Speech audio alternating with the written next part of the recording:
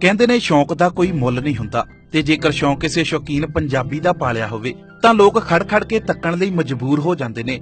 ਤੇ ਆਪਣੇ ਅਜਿਹੇ ਵੱਖਰੇ ਸ਼ੌਂਕ ਨੂੰ ਪੂਰਾ ਕਰਦੇ ਹੋਏ ਜਲੰਧਰ ਦੇ ਕੈਨੇਡਾ ਤੋਂ ਐਨਆਰਆਈ ਨੇ ਨਿਊ ਹਾਲੈਂਡ 3630 ਟਰੈਕਟਰ ਤੇ ਆਪਣੀ ਪੂਰੀ ਰੀਜ਼ ਲਾ ਕੇ ਉਸ ਨੂੰ ਇਸ ਤਰ੍ਹਾਂ ਮੋਡੀਫਾਈ ਕਰਵਾਇਆ ਕਿ ਇਸ ਦੀ ਦਿੱਖ ਲੋਕਾਂ ਦੇ ਦਿਲਾਂ 'ਚ ਧੱਕ ਪਾਉਂਦੀ ਹੈ।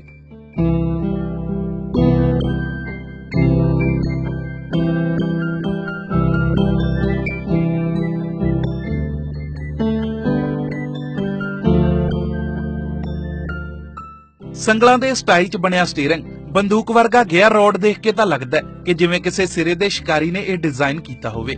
ਵਾਜਿਆਂ ਦੇ ਸਟਾਈਲ 'ਚ ਬਣੇ ਹਾਰਨ, ਜ਼ਬਰਦਸਤ 뮤직 ਸਿਸਟਮ ਤੇ ਫੈਂਸੀ ਲਾਈਟਾਂ, ਕਿਸੇ ਚੱਲਦੇ ਫਿਰਦੇ ਪੱਬ ਦਾ ਅਹਿਸਾਸ ਕਰਵਾਉਂਦੀਆਂ ਨੇ।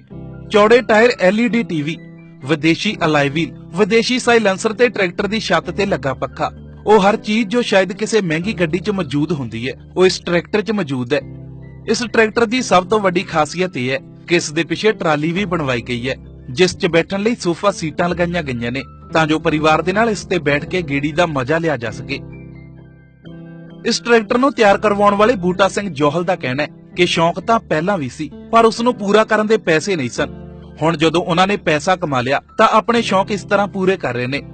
ਸ਼ੌਂਕ ਸੀਗਾ, ਉਦੋਂ ਪੈਸੇ ਨਹੀਂ ਸੀਗੇ, ਅੱਜ ਹੁਣ ਕਮਾਈਆਂ ਕੀਤੀਆਂ ਕੈਨੇਡਾ ਜਾ ਕੇ, ਤੇ ਮਹਾਰਾਜ ਦੀ ਕਿਰਪਾ ਤਾਂ, ਇੰਨਾ ਨਹੀਂ ਸੀ ਵੀ ਇੰਨਾ ਇੱਥੇ ਵੀ ਲਾਈਕ ਕਰਨਗੇ ਸਾਰਾ ਤਾਂ ਵਾਹਿਗੁਰੂ ਦਾ ਸ਼ੁਕਰ ਕਰਦੇ ਮਾਲਕ ਦਾ। ਇਸ ਟਰੈਕਟਰ ਨੂੰ ਤਿਆਰ ਕਰਨ 'ਚ 1 ਮਹੀਨੇ ਦਾ ਸਮਾਂ ਲੱਗਾ।